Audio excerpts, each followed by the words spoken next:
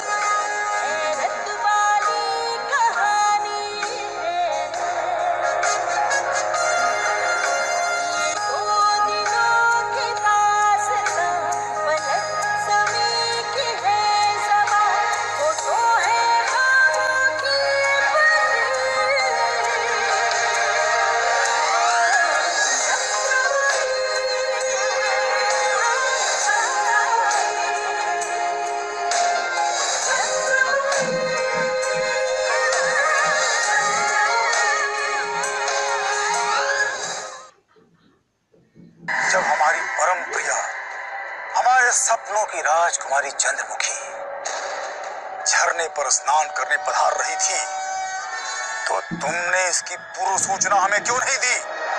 यदि यदि तुमने उसके आने की पूर्व सूचना हमें दे दी होती तो हम वहीं कहीं घात लगाकर बैठ जाते और अपने नेत्रों से उसे निहारने का सुखद आनंद प्राप्त कर लेते। अब आप देखते जाइए, हुजूर। मैं किस तरह इन तीनों देशद्रोहियों का पर्दाफाश करती हूँ? ये तीनों रूपनगर के महलों में अब अधिक दिनों तक नहीं रह पाएँगे क्योंकि इनका दाना पानी अति शीघ्र समाप्त होने वाला है। ऐसी असत्य बातों पर विश्वास करना तुम जैसे बुद्धिमान व्यक्तियों को शोभा नहीं देता। बुद्धिमान नहीं? आपने हमें बुद्धिमान समझा। रूपनगर के अधिकतम लोग हमें मूर्ख समझते किंतु युवराज आप बहुत अच्छे। आपको डरा हुआ नहीं हूँ। समय में रूपनगर की सीमा के भीतर ऐसा कोई कार्य करना नहीं चाहता जिससे आपके आत्म सम्मान को ठेस क्योंकि आप कहें तो मैं इसी समय उन दोनों का शीश काट कर लाकर आपके चरणों में डाल। दोनों राज्य के होने वाले चक्रवर्ती सम्राट भानु प्रताप सिंह अपने होने वाले सेनापति को क्षमा करें। आप मुझे आज्ञा दें। मैं दोनों का शीश काट कर आपके चरणों में ला दूँ।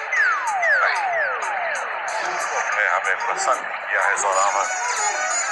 वो बहुत समझदार।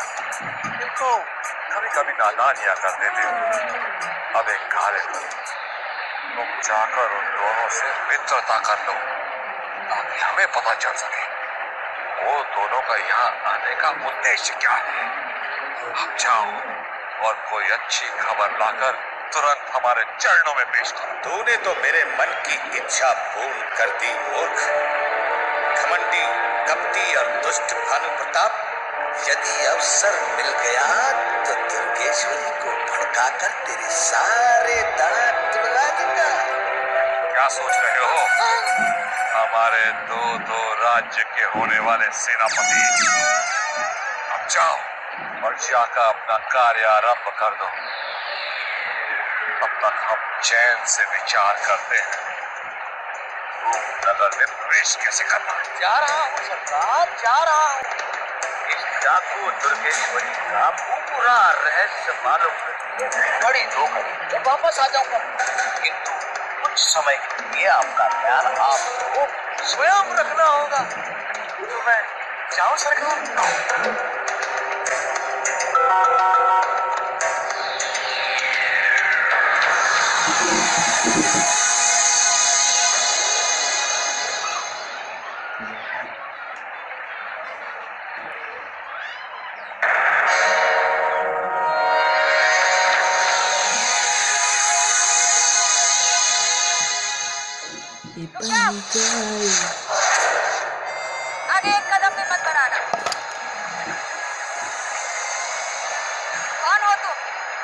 और ये भिखारियों की अवस्था में क्यों घूम रहे हो? मैं भिखारी नहीं हूँ। मेरा नाम तो जोरावर सिंह है। भिखारियों जैसी अवस्था में तो मेरे महाराज भानु प्रसाद सिंह घूम रहे हैं। तुम उस पापी को जानते हो? तुम्हें भी मैं जानती हूँ। देखा हुआ है लेकिन याद नहीं आ रहा है कहाँ। हाँ शायद इसलिए कि भानु प्रताप का नाम सुनकर मेरा रक्त फिर से उबलने लगा। कहाँ है वो?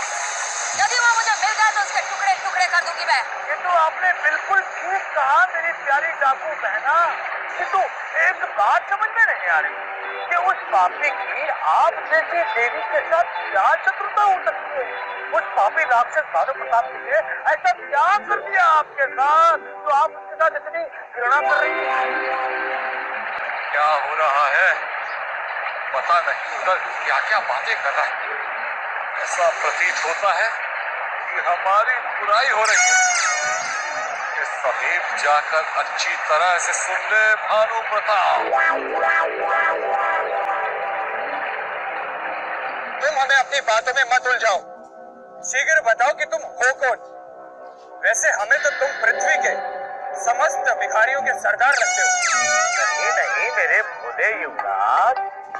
भले ही मेरे राक्षस महाराज ने मेरा कचूमर निकाल दिया हो मैं मैं एक खानदानी राजपूत वो तो रूपनगर के जंगलों में भटक भटक कर मेरे मुखमंडल की आवाज़ थोड़ी क्षीण हो गई है।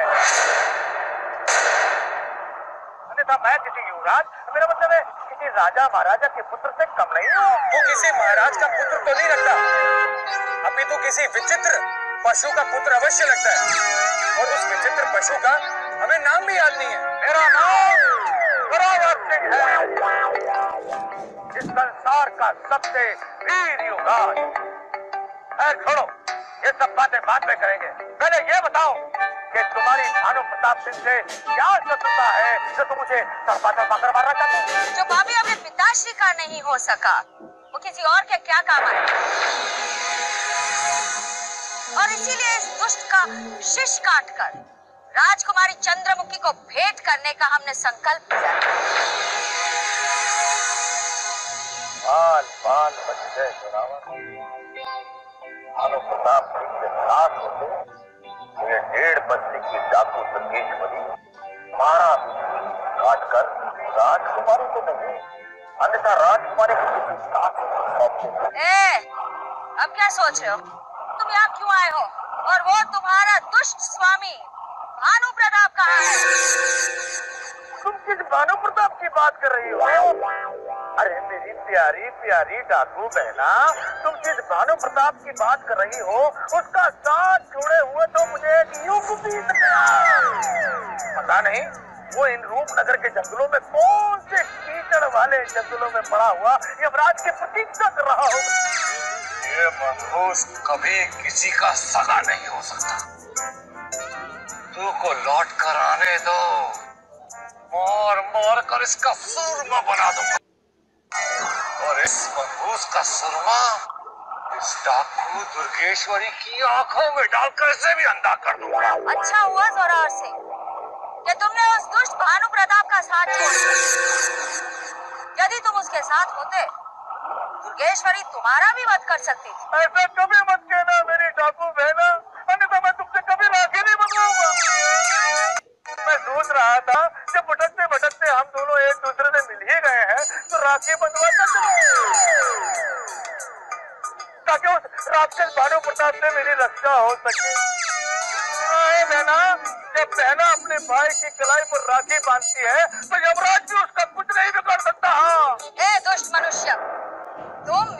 भाई तो क्या? मेरे अस्तबल में घोड़े की की साफ़ करने के लायक भी नहीं तुम्हारा चेहरा देखकर भी मुझे घृणा होती है। क्योंकि नीचता में तुम तुम्हारे स्वामी से दस कदम आगे हो।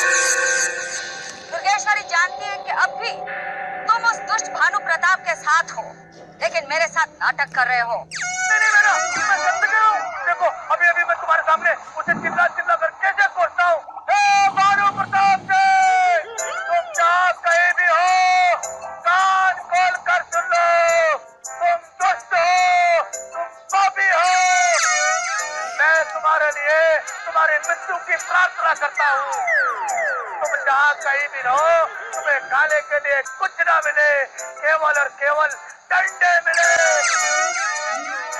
और प्यास से तड़प तड़प कर मृत्यु को प्राप्त हो जाओ। देखा कैसे मैंने उसे खोता। ये क्या हो रहा है? अच्छा बहना तो मैं चलता हूँ। यदि कोई भूल हो गई हो तो क्षमा कर देना मुझे मालूम है मुझे मालूम है कि उस दुष्ट पापी युवराज भानु प्रताप सिंह का नाम सुनकर आपका मन उचाट हो गया। अब इसका दोषी भी तो मैं ही हूँ। यदि मैंने उस दुष्ट राजकुमार भानु प्रताप सिंह का नाम आपके सम्मुख नहीं लिया होता तो आपका मन उचाट नहीं होता। मैं जा रहा हूँ बहना यदि मुझे रूपनगर के जंगल में वो भानु प्रताप सिंह मिल गया तो सबसे पहले मैं उसे गधे पर बिठाऊँगा। उसके बाद उसका मुख काला करूँगा। तत्पश्चात उसके गले में जूतों का हार डालूँगा। और मुझे लातों से उसकी महा आरती करूँगा। और उसको गधे पर बिठाकर रूपनगर के बाज़ार में उल्टा लटका दूँगा, ताकि कोई दूसरा भानु प्रताप जन्म लेने का चेष्टा ही ना कर सके। तुम यहाँ से नौ दो ग्यारह हो जाओ। अन्यथा अगर दुर्गेश्वरी को गुस्सा आ गया तो तुम यही समाप्त हो जाओगे।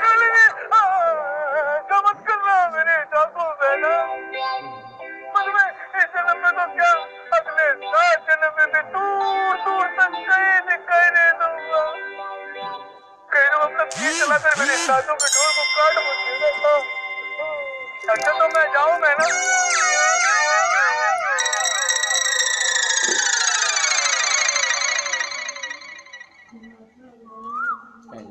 दुर्गेश्वरी तुम्हारी भानु प्रताप से कोई दुश्मनी नहीं। फिर तुमने इस जोरावर को क्यों डराया? क्योंकि मैंने भाप लिया था कि वहाँ दूर से वो हमें देख रहा है।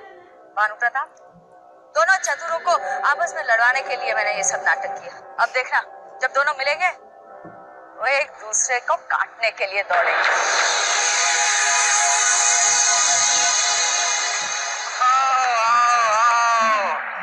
हमारे दो दो राज्य के होने वाले सेनापति, आओ। आज हम तुम्हें इतना प्यार, इतना दुलार देंगे कि तुम हँसते हँसते मृत्यु को प्राप्त हो जाओगे। तुम संसार के सबसे कपटी और कभी कमीने मनुष्य हो। आप क्या कह रहे हैं सरकार मेरी तो कुछ समझ में नहीं आ रहा है। क्या आप मुझ पर है? क्रोधित ना तो हमें तुमसे कोई क्रोध है और ना ही प्रसन्नता। हम तो उस क्षण का प्रतीक्षा कर रहे हैं जब हम तुम्हारा शीश काटकर तुम्हारी बलि चढ़ा देंगे। तब नर्क में बैठे तुम्हारे पूर्वज तुम्हारे गंदे रक्त को गुम सुन कर नर्क में तुम्हारी प्रतीक्षा के लिए खड़े आपको किसी पागल कुत्ते ने काट लिया साहब ऐसी बेकी बेकी बातें कर रहे हैं। पागल तो नहीं हो गए सरकार। सरकार एक काम करें एक काम करें। लाओ आप तो कितना विष चला ऐसा ऐसा दे रहा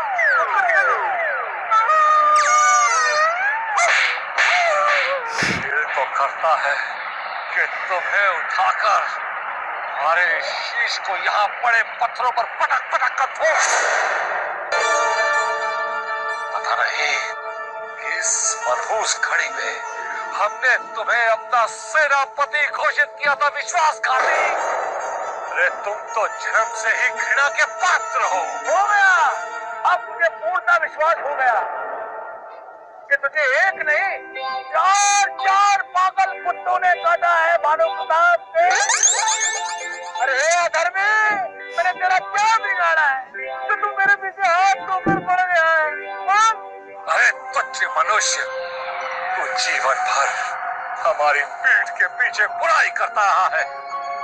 आज डाकू दुर्गेश्वरी के सामने जो तूने हमारी आरती उतारी है, उसे हम जीवन भर नहीं भूल पाएँगे। यदि हम चाहते तो भी तेरा वध कर देते किंतु हम राजकुमारी चंद्रमुखी की भाँग में सिंदूर भरना चाहते तेरे गंदे रक्त से अपने हाथ पहले नहीं करना चाहते। दूर हो जा हमारी नज़रों से। तू पहले भी था, आज भी तुच्छ है और तुच्छ ही रहेगा।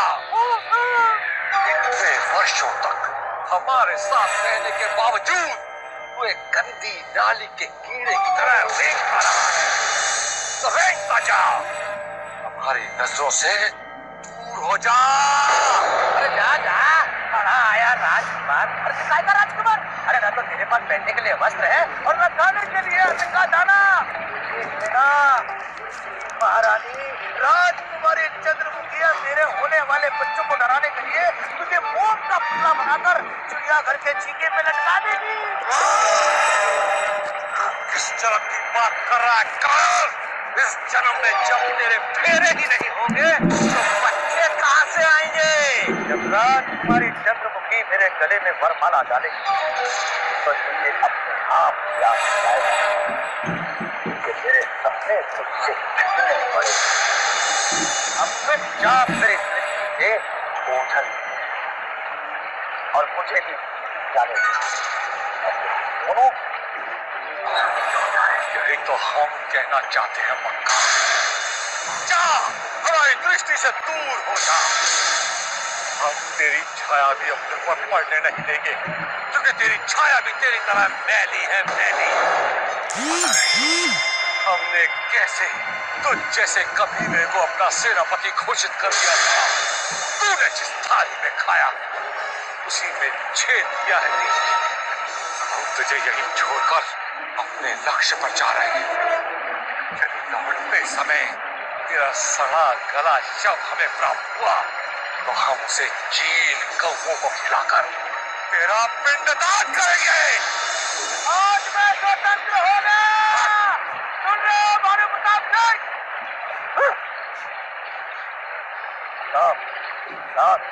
में प्रवेश करता जब राजकुमारी चंद्र स्वयं जाऊँगा हो सकता है कि राजकुमारी चंद्रमुखी मेरे गले में वरमाला डाल चलो जोरावर चलो बाजमाने में जाता है? Ha ha ha ha ha!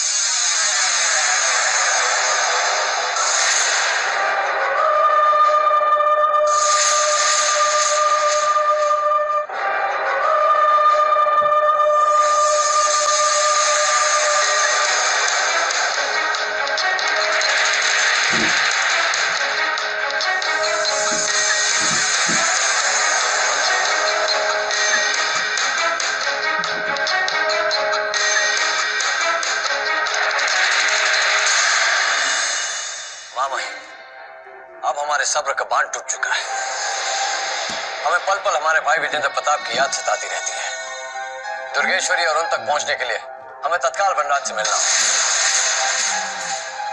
आप हमारी भेंट वनराज से करवा क्योंकि वही जानते हैं कि इस वक्त वो दोनों कहाँ हैं। हाँ हाँ युवराज।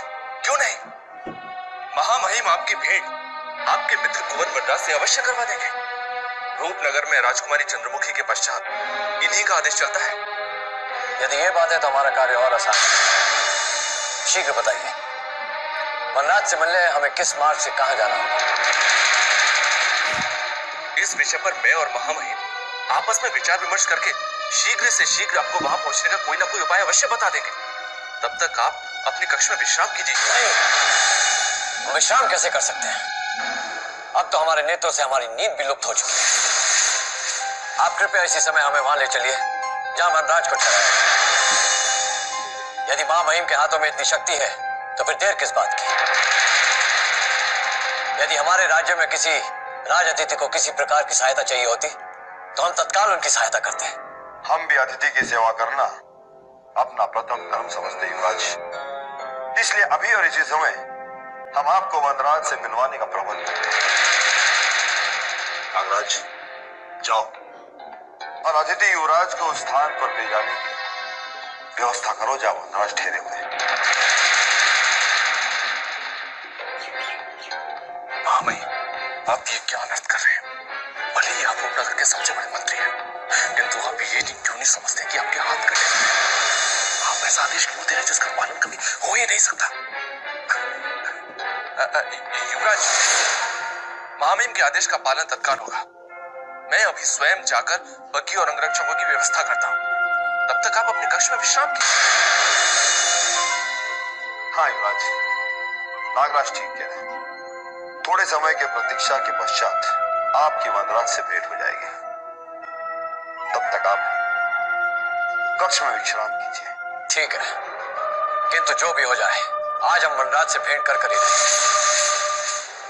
और फिर वो रहस्य भी खुल जाएगा कि जब वो दुर्गेश्वरी और विजेंद्र प्रताप सिंह के साथ रूपनगर की ओर बढ़ रहे थे तो फिर वो दोनों कहाँ खो गए?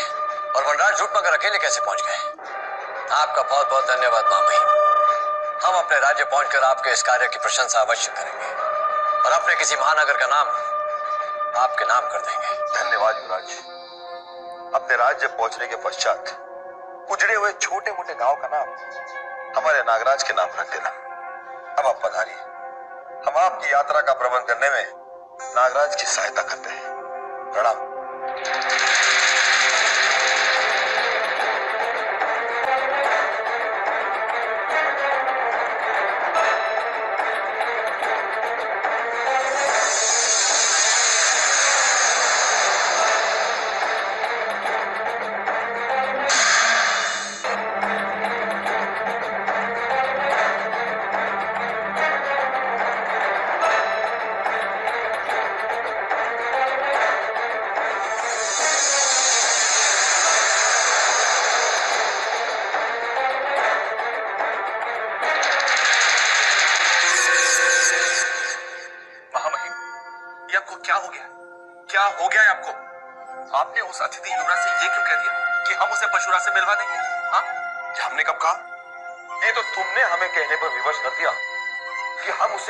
उसे परशुराज से मिलवा दें। महामहिम ये आपको क्या हो गया?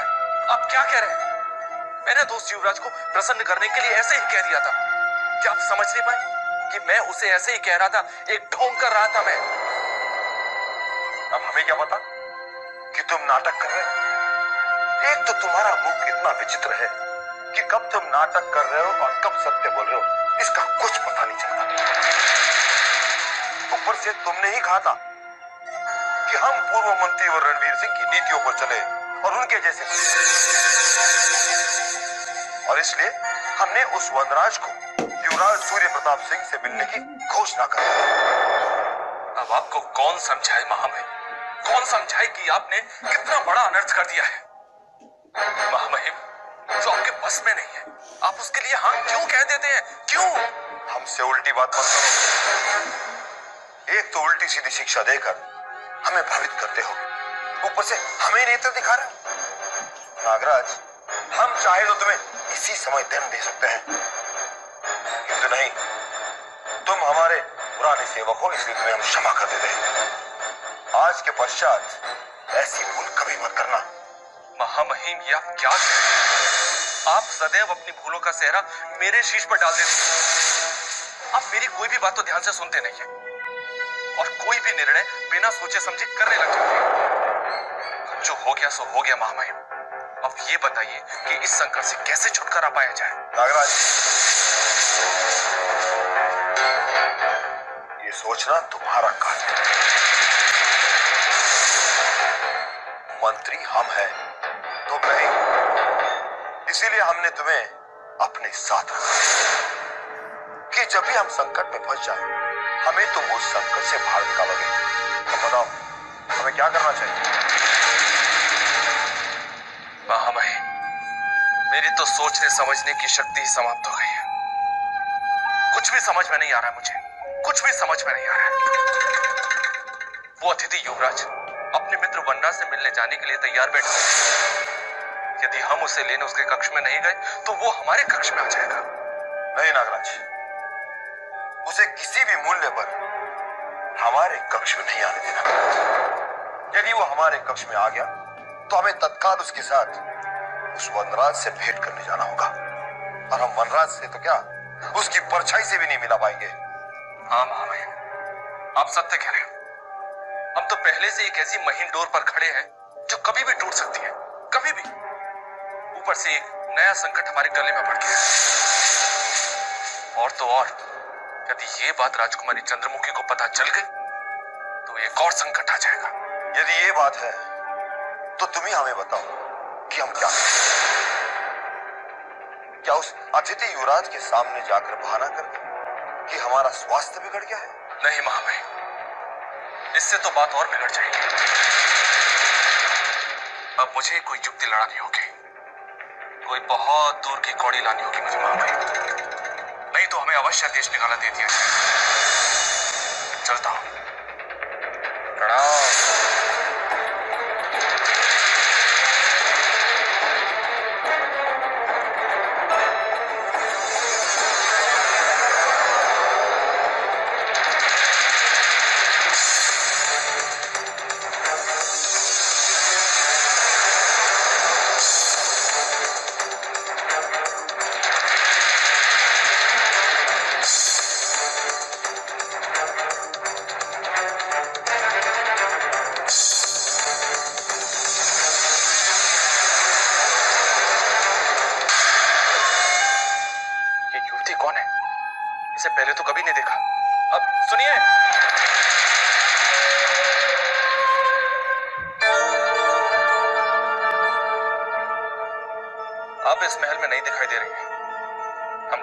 हैं कि आप यहाँ किस कार्य से आई हैं?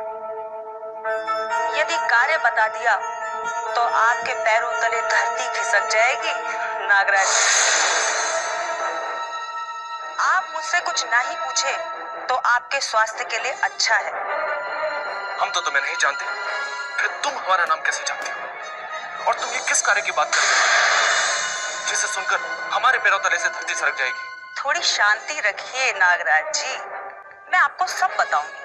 पहले आप ये बताइए कि महामहिम राजवीर सिंह और आप दोनों मिलकर क्या षड्यंत्र कर रहे हैं?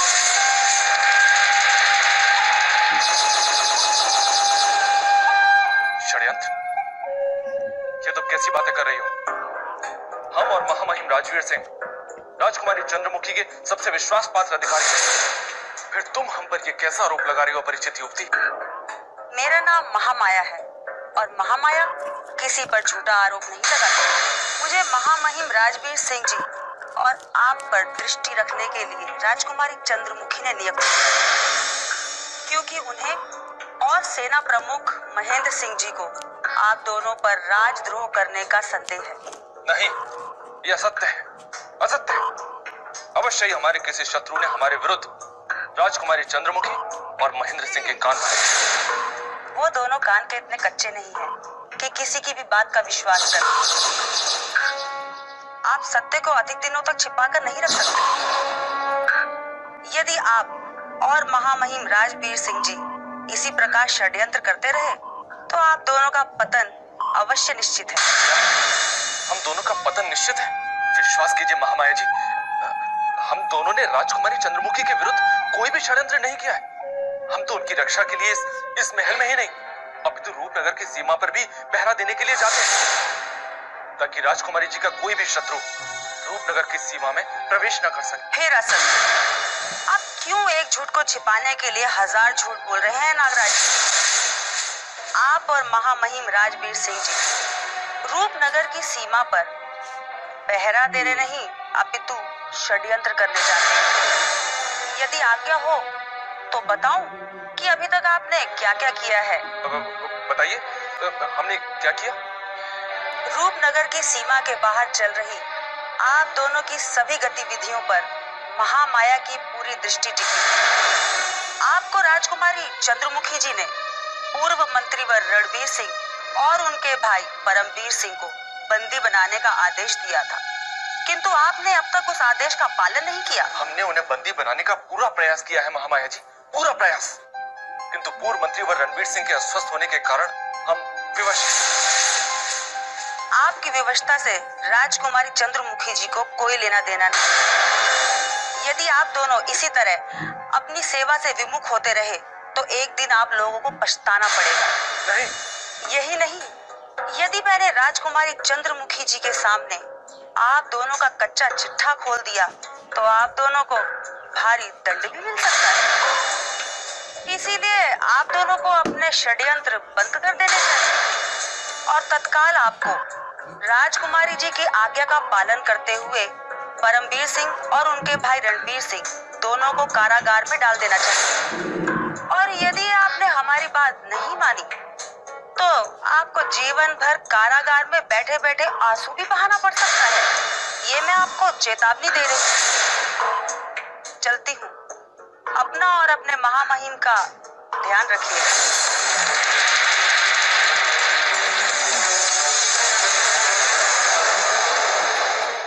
क्या हो रहा है नागराज? ये क्या हो रहा है? मेरे और महाबहन के विरुद्ध फिर से कोई षड्यंत्र करने लगा है। अब हमें सबसे चौकन्ना रहना होगा, सबसे। और तत्काल इस घटना की जानकारी मुझे महामहिम राजवीर सिंह को सुनानी होगी।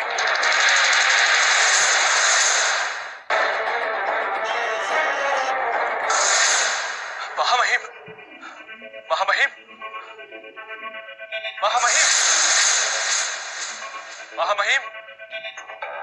महामहिम। क्या हुआ राजा? तू अचानक वापस कैसे लौटा? है और तुम इतने घबराए हुए क्यों हो? कहीं वो अतिथि युवराज हमें ढूँढने यहाँ तो नहीं आ रहा है? जिसे हमने उस पशुराज से मिलाने का वचन दिया था? महामहिम यदि वो अतिथि युवराज यहाँ जाता मैं उससे बहुत आसानी से निपट लेता।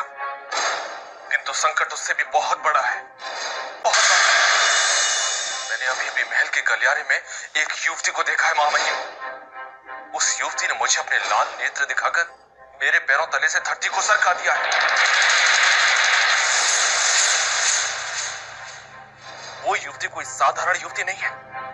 राजकुमारी चंद्रमुखी और सेना प्रमुख महेंद्र सिंह की विशेष सेना जिसने हमें खुली चेतावनी देकर यह बता दिया है कि यदि हमने शीघ्र से शीघ्र राजकुमारी की आज्ञा का पालन नहीं किया तो हमें देश निकाला भी दिया जा सकता है। देश निकाला दिया जा सकता है? किंतु राजकुमारी चंद्रमुखी ने हमें कोई आदेश नहीं दिया है। फिर हमने उनके कौन से आदेश का उल्लंघन किया है? महामहिम क्या आप भूल गए?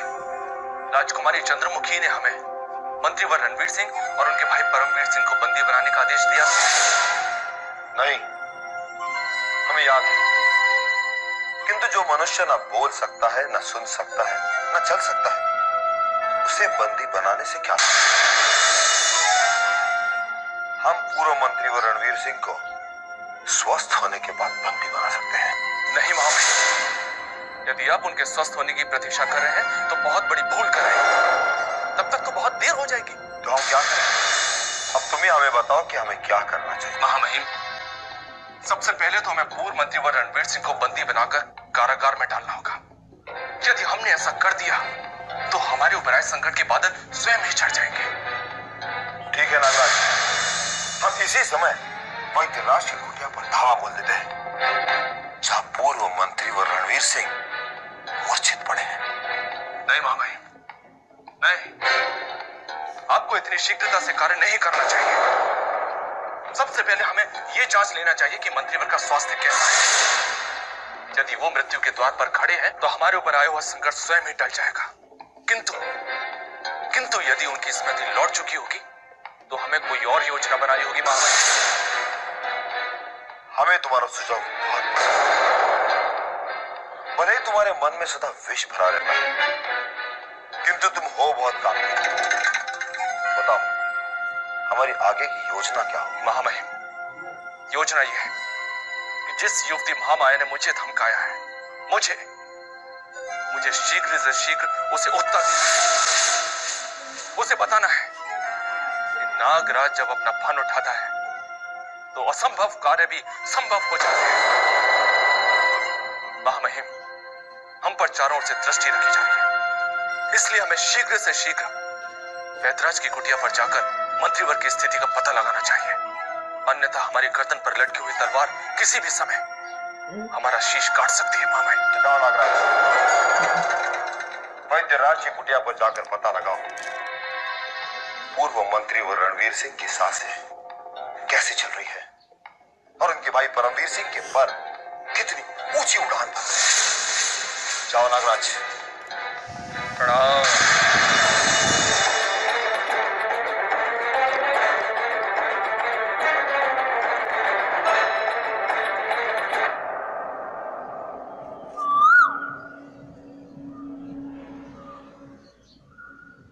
भाई जी के बिना हमें ऐसा लगता है, जैसे किसी ने हमारे हाथ काट दिए हो।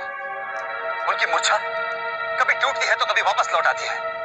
हमें केवल एक बात का उत्तर दीजिए वैद्यनाथ जी। आखिर भाई जी की स्मृति कब वापस लौटेगी? शांत रहिए कुंवर शांत रहिए। वैदराज अपना दिन रात एक करके हमारे कुंवर की स्मृति वापस लौटाने का पूरा प्रयत्न कर रहे हैं। किंतु हमारे दुर्भाग्य ने हमारा साथ अभी नहीं छोड़ा है। आज नहीं तो कल हमारे मंत्रीवर्ग की स्मृति अवश्य वापस लौट आएगी। किंतु उसके प्राण कभी ना लौट सकेंगे, जिसने छल से आक्रमण करके हमारे प्रिय मंत्रीवर्ग की एक गति की है। जिस शत्रु ने भी भाई जी को महानिद्रा में पहुँचाया है, हम उस शत्रु को मृत्यु की महानिद्रा में पहुँचा देंगे, ज्वाला। किंतु इस समय भाई जी के बिना हमें दिन का उजाला भी अमावस की रात की गंगोर अंधेरे के समान दिखाई पड़ रहा है।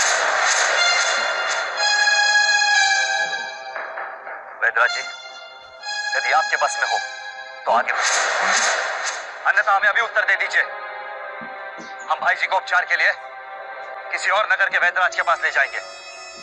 मंत्रिवर का उपचार चाहे कोई भी और कहीं का भी दक्ष वैद करे इससे कोई अंतर नहीं पड़ेगा कुंवर यदि एक दुर्लभ बूटी प्राप्त हो जाए तो मंत्रिवर की स्मृति शीघ्र से शीघ्र वापस लौट तो आप यहाँ खड़े खड़े हमारा मुख क्या ताक रहे हैं? जाकर वो बूटी क्यों नहीं ले आते?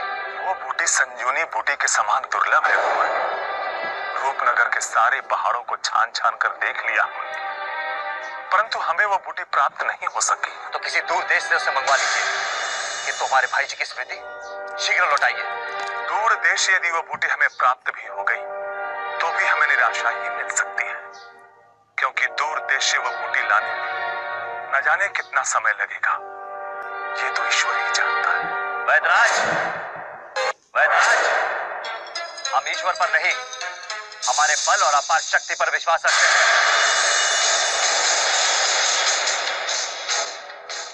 हमें तो अब ऐसा लगने लगा है कि आप मनुष्य के नहीं अब तो पशुओं के चिकित्सक हो।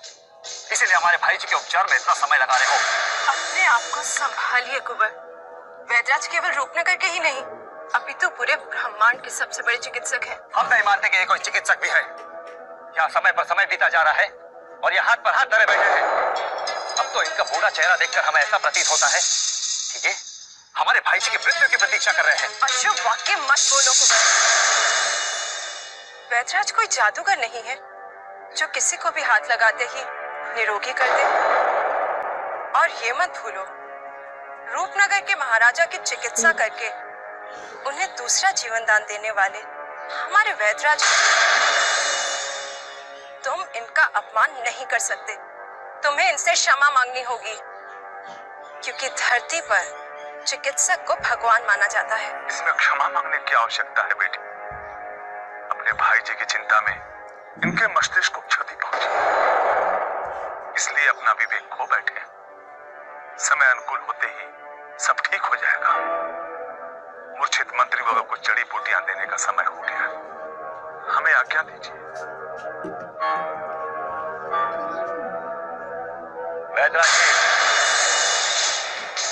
यदि आपके उपचार से भाई जी की स्मृति और उनके प्राण नहीं बचे तो मृत्यु शैया पर लेटकर शमशान घाट जाने के लिए तैयार रहना। यदि हमारे भाई जी जीवित नहीं रहे तो हम आपको तो क्या पूरे संसार को मृत्यु के घाट उतार देंगे?